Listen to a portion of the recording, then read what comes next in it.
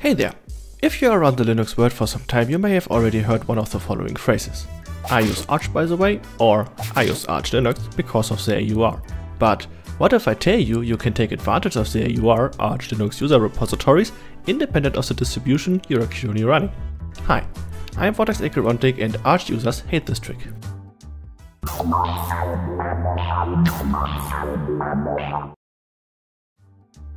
Distrobox. In the previous video I already explained to you how to set up OpenSUSE Aeon and Kalpa for gaming, but we did not come across talking about MicroOS Desktop's true superpower, Distrobox. As Distrobox is also available for most other Linux distributions, you can follow these instructions on the distribution you are currently using. In my example, it is just that Distrobox is installed on my distribution of choice by default.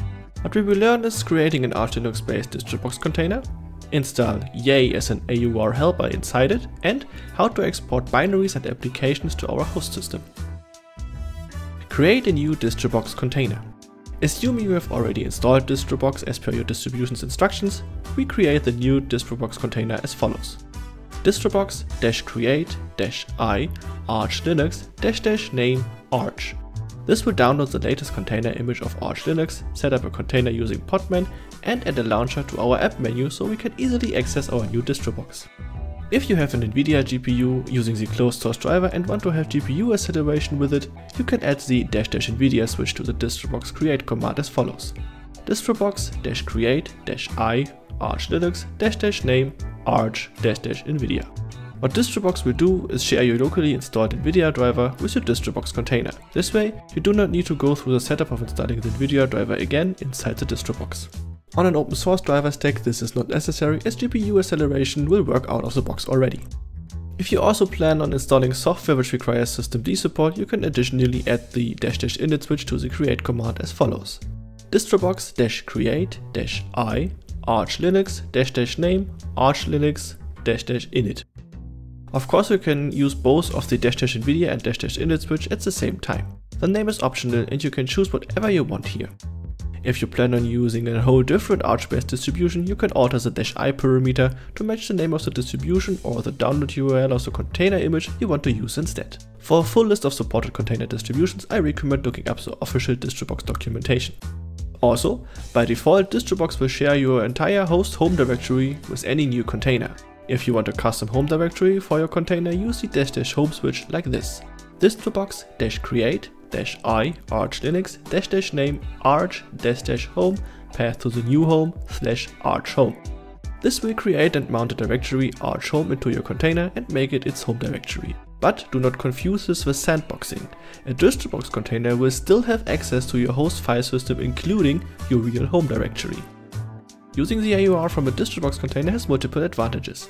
First, you do not alter your host system and there is no risk of damaging any system files. Second, you can use the AUR on any Linux distribution you like. And last but not least, you can keep files only required for software running inside the container away from your user home. Getting an AUR helper.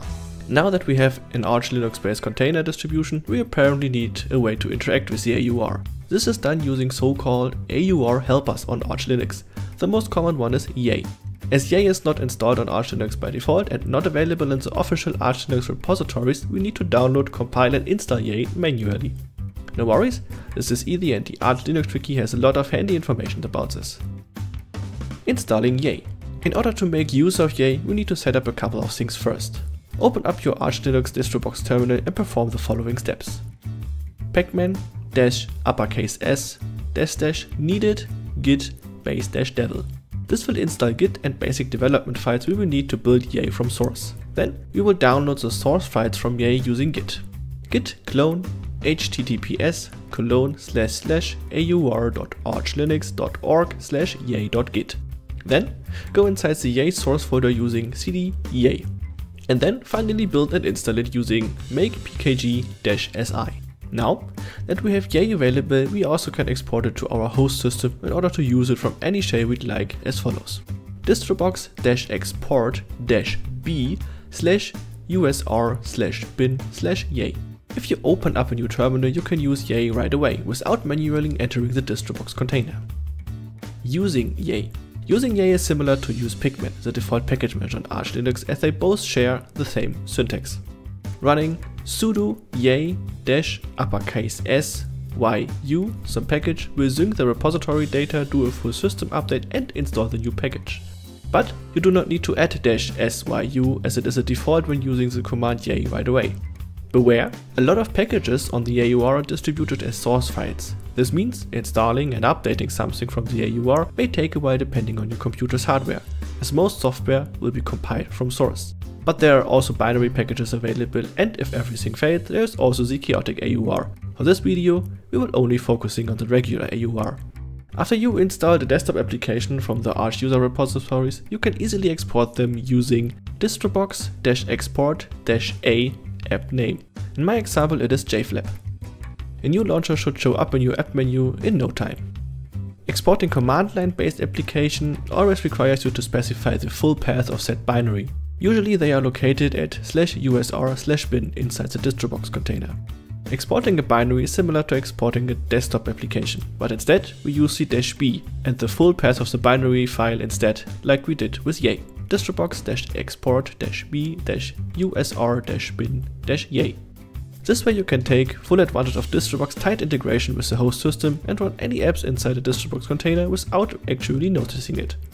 On an in-depth tutorial and how-to about Yay, the AUR or Distrobox, I recommend looking up the official documentation. All links and commands used can be found in the video description or in a dedicated comment by me, Robo n' Tux Guides. With all these bits and bytes in place, we are technically still running the AUR from Arch Linux, but without the need to opt into the full Arch Linux experience, while still operating in a known environment. I apologize for the clickbait title, but I hope you found this video helpful and enjoy the AUR or your favorite Linux distribution. Have a great day!